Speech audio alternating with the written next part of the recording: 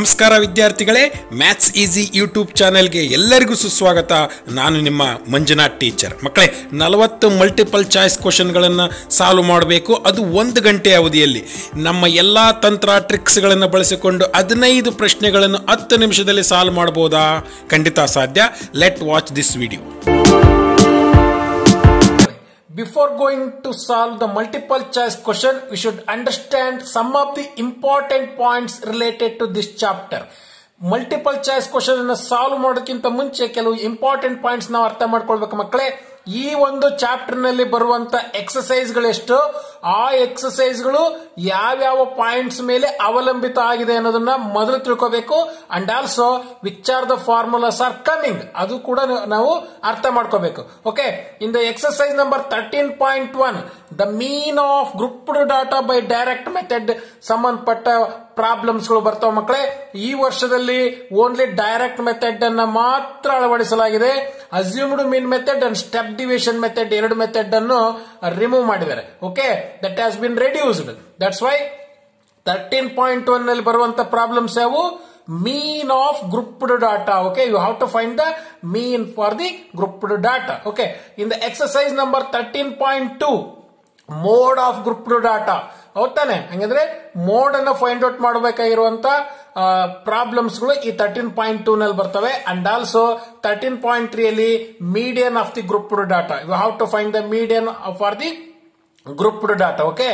And also in the 13.4 ogive ಹೌದಾನೆ there are two types of ogive less than uh, type and also more than type of ogives draw ಮಾಡೋದು ಹೌದಾನೆ ಆ ಓಜೈವ್ ಯಾವ ರೀತಿ draw ಮಾಡೋದು ಅನ್ನೋದ್ರ ಬಗ್ಗೆ ಪ್ರಾಬ್ಲಮ್ಸ್ಗಳು ಬರ್ತವೆ. ಆಗಿದ್ದ ಮೇಲೆ ಮಕ್ಕಳೇ ಫೋರ್ ಎಕ್ಸಸೈಸಸ್ ಆರ್ ದೇರ್ ಆ ಫೋರ್ ಎಕ್ಸಸೈಸಸ್ ನೀವು ನೆನಪಿನಲ್ಲಿ ಇಟ್ಕೊಳ್ಬೇಕು okay students and also you have to remember the formulas the first formula is mean for the grouped data by direct method direct method ಇಂದ ಯಾವ ರೀತಿ ಮೀನ್ ಅನ್ನ ಫೈಂಡ್ ಔಟ್ ಮಾಡಬಹುದು ಅನ್ನೋದನ್ನ ನೀವು formula ನೆನ್ಪಿಟ್ಕೊಳ್ಬೇಕು. X bar is equal to summation f i x i summation f i ಹೌದಾನೆ ಇದನ್ನ ನೆನ್ಪಿಟ್ಕೊಂಡಿರ್ಬೇಕು. And also mode for the grouped data mode ಅನ್ನು ಫೈಂಡ್ ಔಟ್ ಮಾಡಬಹುದು this one is the lower limit of the modal class and also this one is modal frequency and also preceding modal frequency and successive modal frequency and this one is the size of the class interval ಹೌದಾ ನೀವು ನೆನ್ಪಿಟ್ಕೊಂಡಿರ್ಬೇಕು F zero ಅಂದ್ರೆ ಏನು F one ಅಂದ್ರೆ ಏನು F two ಅಂದ್ರೆ ಏನು ಅನ್ನೋದು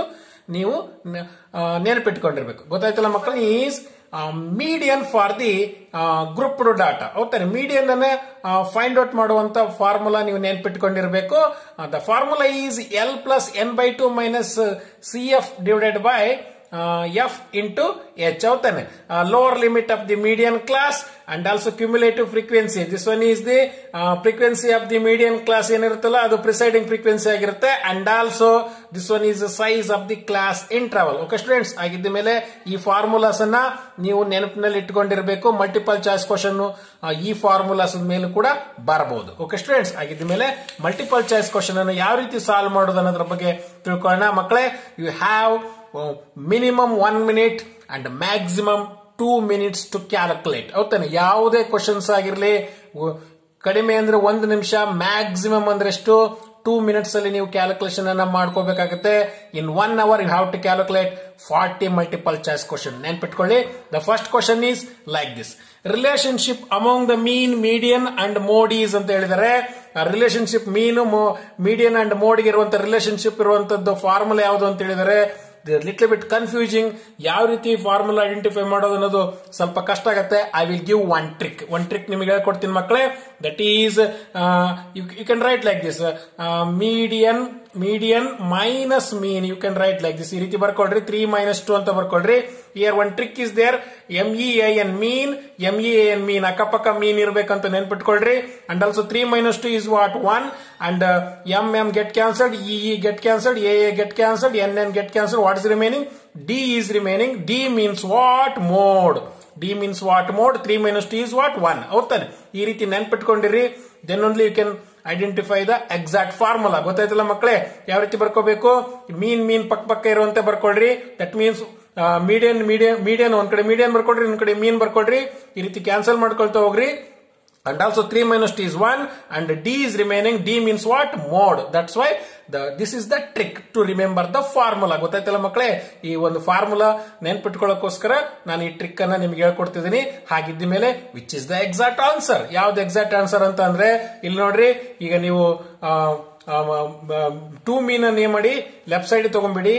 Mode plus two mean is equal to three median three median ಹಾಗಿದ್ದ ಮೇಲೆ ಇದನ್ನ ಉಲ್ಟಾ ಬರೆದ್ರೆ ಏನಾಗುತ್ತೆ? Three median is equal to mode plus two mean that's why A is the right answer A is the right answer O M R ಶೀಟ್ನಲ್ಲಿ ನೀವು ಹೇಗೆ shade ಅನ್ನ ಮಾಡಬೇಕು okay students let's move on to the next question if the mean of distribution is mean ಕೊಟ್ಟಿದ್ದಾರೆ thirty and also median is thirty five mode of the distribution ಆಗಿದ ಮೇಲೆ we can use this formula ಏನ್ find out ಮಾಡಕ್ ಹೇಳಿದ್ದಾರೆ ಮೀನ್ ಅನ್ನ find out ಮಾಡಕ್ ಹೇಳಿದಾರೆ. ಹೋಗ್ತಾನೆ ಮೀನ್ ಫೈಂಡ್ ಔಟ್ ಮಾಡಕ್ ಹೇಳಿದಾರೆ ಅಂತ ಅಂದ್ಮೇಲೆ we can use this formula ಇದೇ ಫಾರ್ಮುಲಾ ಯೂಸ್ ಮಾಡಿ ಇಲ್ಲಿ ಮೀನ್ ಕೊಟ್ಟಿದ್ದಾರೆ ಅಂಡ್ ಆಲ್ಸೋ ಮೀಡಿಯನ್ ಕೊಟ್ಟಿದ್ದಾರೆ. ಮೋಡ್ ಕೊಟ್ಟಿಲ್ಲ. ಹೌದಾನೆ ಮೋಡ್ ಕೊಟ್ಟಿಲ್ಲ.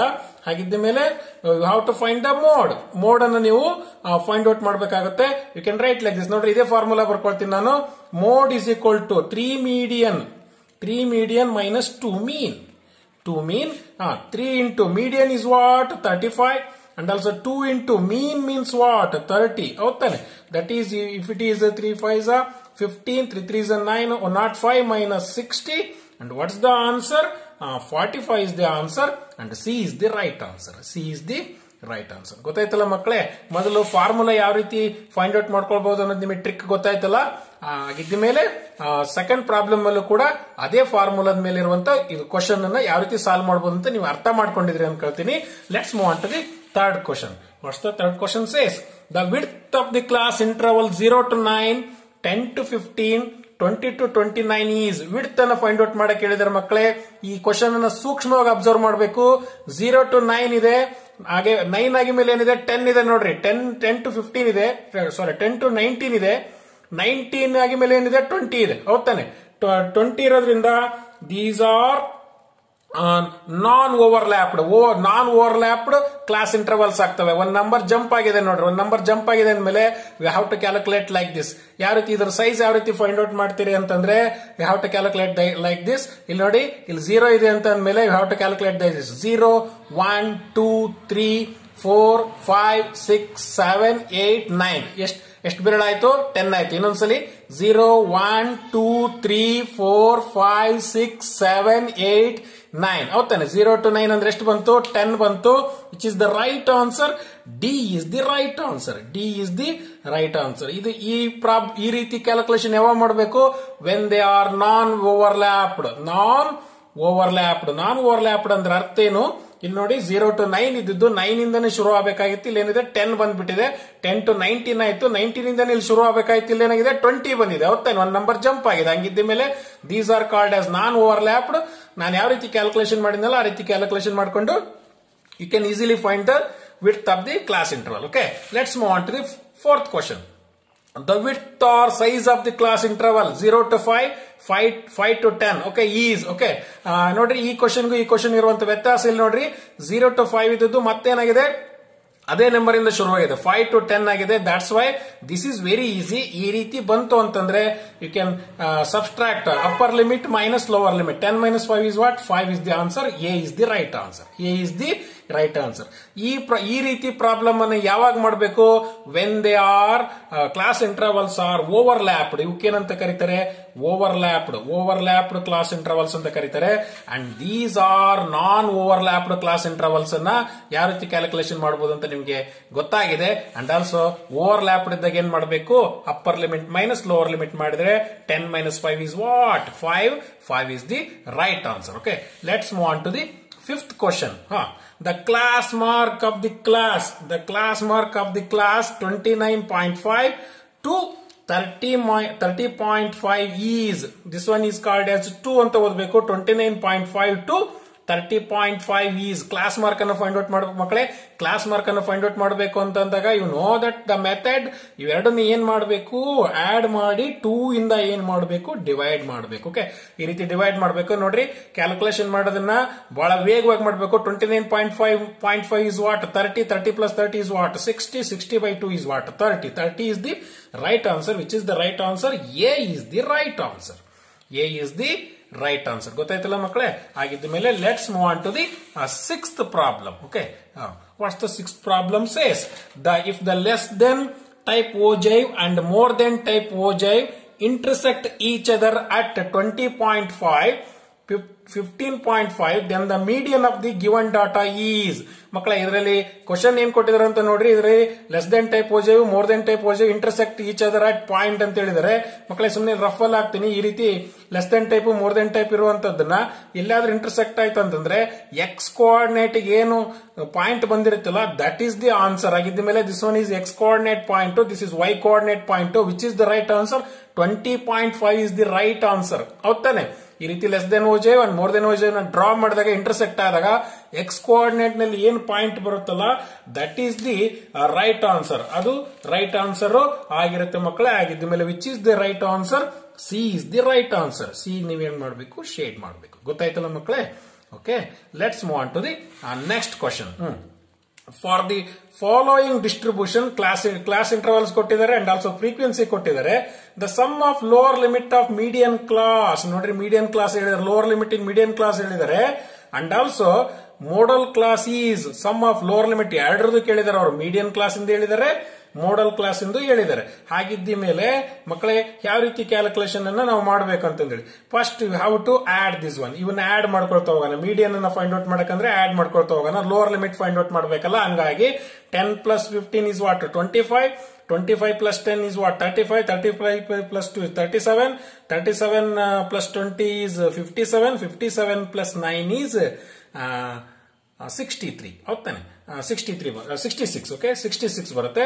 And sixty six by two is what thirty three thirty three ಹೌದಾನೆ thirty three ಅಂತಂದ್ಮೇಲೆ ಇಲ್ಲಿ you have to find the median ಅಲ್ವಾ? Median find out ಮಾಡಬೇಕಾಗಿರೋದ್ರಿಂದ you have to write like this ten ಬರ್ಕೊಳ್ರಿ, ಹಂಗೆ add ಮಾಡ್ಕೊಳ್ತಾ ಹೋಗ್ರಿ. Ten plus fifteen is what twenty five cumulative frequency ಮಾಡಬೇಕಲ್ವಾ? Twenty five plus twelve is what thirty seven and also thirty seven plus twenty is what fifty seven and also fifty seven plus nine is what sixty six ಹೌತಾನೆ sixty six ಬಂತು. ಆಗಿದ್ದ ಮೇಲೆ ಈಗ thirty three ಎಲ್ಲಿ ಬರುತ್ತೆ? Thirty seven ಅಲ್ಲಿ ಬರುತ್ತೆ. Thirty seven ಅಲ್ಲಿ ಬರುತ್ತೆ ಅಂತ ಅಂದ್ಮೇಲೆ and which is the class interval class interval ಯಾವ್ದು ಬರುತ್ತೆ ಅಂತ ಹೇಳಿ ಇದರಲ್ಲಿ ಬರುವಂತದ್ದು ಕ್ಲಾಸ್ ಇಂಟರ್ವಲ್ ಯಾವ್ದು ಅಂತ ಹೇಳಿದ್ರೆ ಇಲ್ಲೇ ಚೆಕ್ ಮಾಡ್ಕೊಳ್ರಿ. One two three one two three ಹಂಗಿದ್ಮೇಲೆ class interval ಯಾವುದು?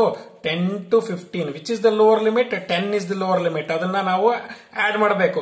Lower limit of the medium class ಹೇಳಿದರೆ ಟೆನ್ ಹಂಗೆ ಇಟ್ಕೊಂಡಿರ್ತೀನಿ. ಈಗ lower limit of the modal class modal class find out ಮಾಡ್ಬೇಕಂದ್ರೆ which is the highest frequency the highest frequency ಯಾವುದು? Twenty twenty ಇದು class interval ಯಾವುದು? Fifteen to twenty ಆಗಿದ್ಮೇಲೆ lower limit ಯಾವುದು? ಫಿಫ್ಟೀನ್ ಫಿಫ್ಟೀನ್ ಅನ್ನು ಆಡ್ ಮಾಡ್ಬೇಕು. That is that is ten plus fifteen is what twenty five twenty five is the answer B is the right answer B is the right answer ಮಕ್ಕಳೇ, ಈ problem ಅಲ್ಲಿ ನೀವು lower limit of medium class ಕೇಳಿದರೆ and also lower limit of modal class ಹೇಳಿದ್ದಾರೆ modal class ಅನ್ನ ಬಹಳ ಈಸಿಯಾಗಿ find out ಮಾಡಬಹುದು ಹೇಗೆ ಅಂತಂದ್ರೆ which is the highest frequency ಇದ್ರಲ್ಲ ಹೈಯೆಸ್ಟ್ ನಂಬರ್ ಯಾವುದು? ಟ್ವೆಂಟಿ ಇದೆ. ಟ್ವೆಂಟಿಯಲ್ಲಿ ಇರುವಂತ ಕ್ಲಾಸ್ ಇಂಟರ್ವಲ್ ಯಾವುದು? ಫಿಫ್ಟೀನ್ ಟು ಟ್ವೆಂಟಿ ಇದ್ರ ಲೋವರ್ ಲಿಮಿಟ್ ಯಾವುದು? Fifteen that is the fifteen is the answer ಈ ಮೀಡಿಯಂ ಫೈಂಡ್ ಔಟ್ ಮಾಡಬೇಕು ಅಂತಂದಾಗ how to calculate like this ಅಂದ್ರೆ ಕ್ಯೂಮುಲೇಟಿವ್ ಫ್ರೀಕ್ವೆನ್ಸಿ ಮಾಡ್ಕೊಳ್ಬೇಕಾಗತ್ತೆ. ಆಡ್ ಮಾಡ್ತಾ ಹೋಗ್ತಾ ಹೋಗ್ಬೇಕು.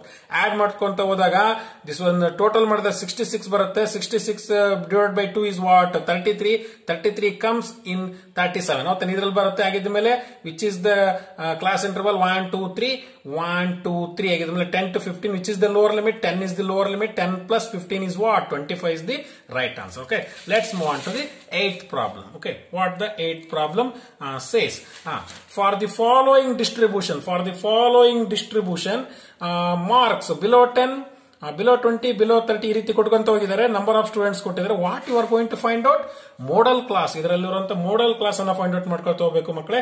ಮೇಲೆ ಇದರಲ್ಲಿ ಕ್ಲಾಸ್ ಇಂಟರ್ವಲ್ ಇಲ್ಲ. ಕ್ಲಾಸ್ ಇಂಟರ್ವಲ್ ಇಲ್ಲ ಅಂತ ಯಾವ ರೀತಿ ಬರ್ಕೊಳ್ತೀರಿ? Zero to ten okay below ten ಅಂತ ಹೇಳಿದಾರಲ್ವಾ? Zero to ten and also ten to twenty like that twenty to thirty okay ಈ ರೀತಿ ಫಾಸ್ಟ್ ಮಾಡ್ಕೊಳ್ತಾ ಹೋಗ್ರಿ. Thirty to forty forty to fifty fifty to sixty ಹೌದಾನೆ fifty to sixty sixty ವರೆಗೂ ಇದೆ.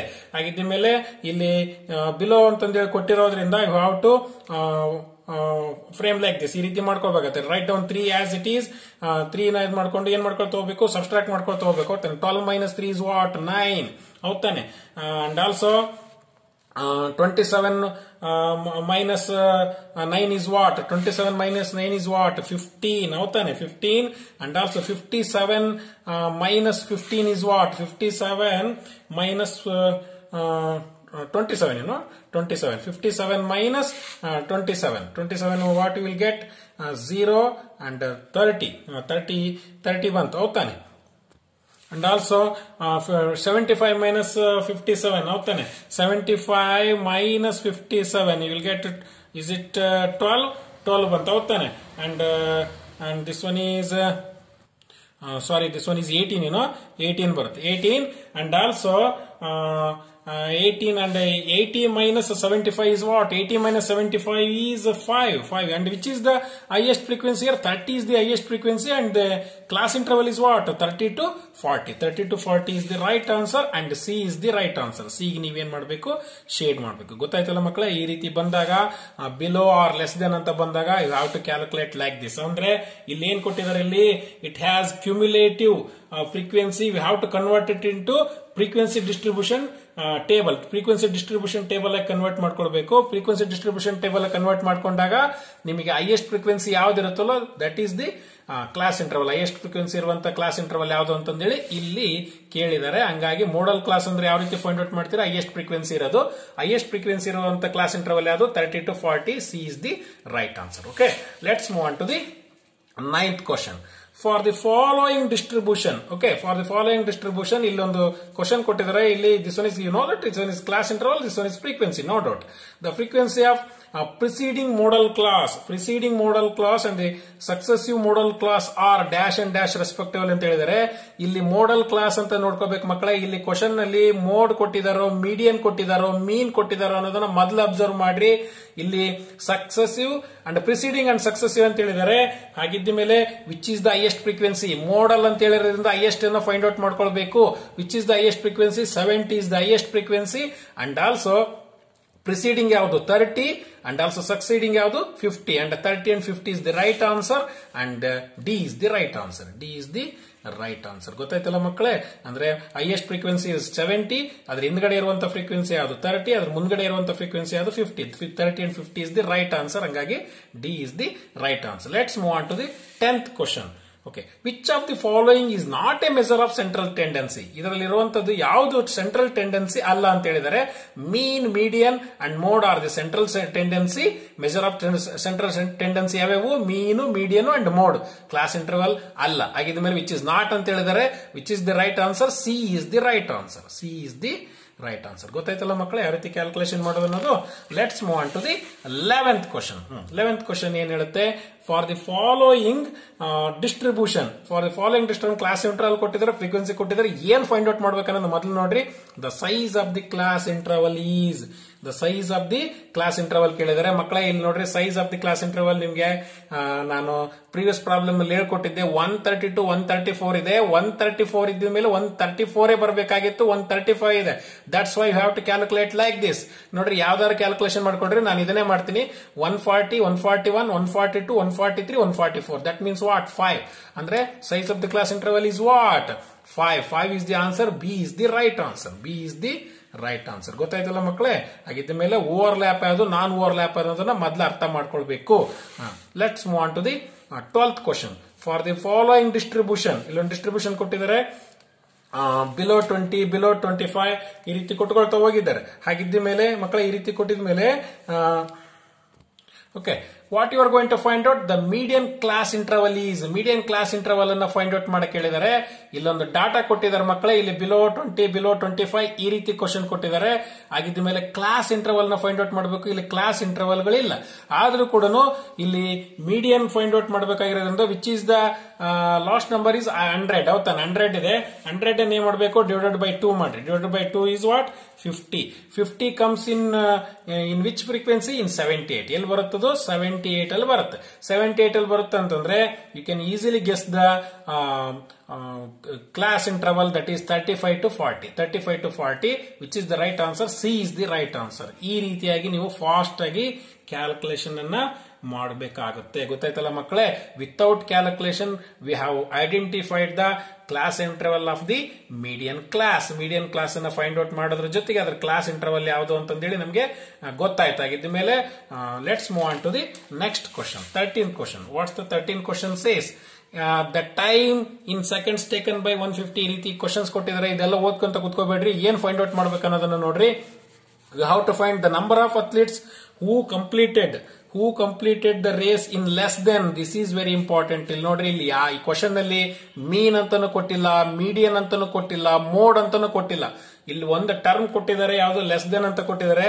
Less than fourteen point fourteen point six second is ಅಂತ ಹೇಳಿದರೆ the number of athletes who completed the race in less than ಅಂತ ಕೊಟ್ಟಿದ್ದಾರೆ. ಇದೊಂದು term ಸಾಕು ನಮಗೆ calculation ಮಾಡ್ಕೊಳ್ಳೋದಕ್ಕೆ. ಹಾಗಿದ್ದ ಮೇಲೆ ಮಕ್ಕಳೇ ಇದಕ್ಕೊಂದು table ಬರ್ಕೋಬೇಕು. That is less than fourteen like that less than ಅಂತ ಹೇಳಿದಾರಲ್ಲ ಹಂಗಾಗಿ less than fourteen point two less than fourteen point four less than fourteen point six less than fourteen point six ಹೇಳಿದ್ರೆ ಅಲ್ಲಿ ತನಕ ಅಷ್ಟೇ ಬರ್ಕೊಳ್ರಿ ಸಾಕು ಹಾಗಿದ್ದ ಮೇಲೆ ಇದನ್ನ ಲೆಸ್ ದೆನ್ ಇದ್ದಾಗ ಏನ್ ಮಾಡಬೇಕು? Two you have to write as easy as it is and also you have to add it two plus four is what six six plus eleven is what eleven six plus five is eleven and also eleven plus seventy one is what eighty two eighty two is the right answer which is the right answer C is the right answer C is the right answer ಗೊತ್ತಾಯ್ತಲ್ಲ ಮಕ್ಕಳೇ, ಇಲ್ಲಿ ಯಾವುದೇ ರೀತಿಯಂತ mean mode and median ಅಂತ ಕೇಳಿದ್ದಿಲ್ಲ only less than ಅಂತ ಕೊಟ್ಟಿದ್ರು. Okay let's move on to the next question that is fourteen question okay the abscissa of the point of intersection of the less than type and the more than type cumulative curves of group data gives seats ಹಾಗಿದ್ದ ಮೇಲೆ ಇದಕ್ಕೆ ನಾವು abscissa of the points abscissa of the points ಏನಿದೆಯಲ್ಲ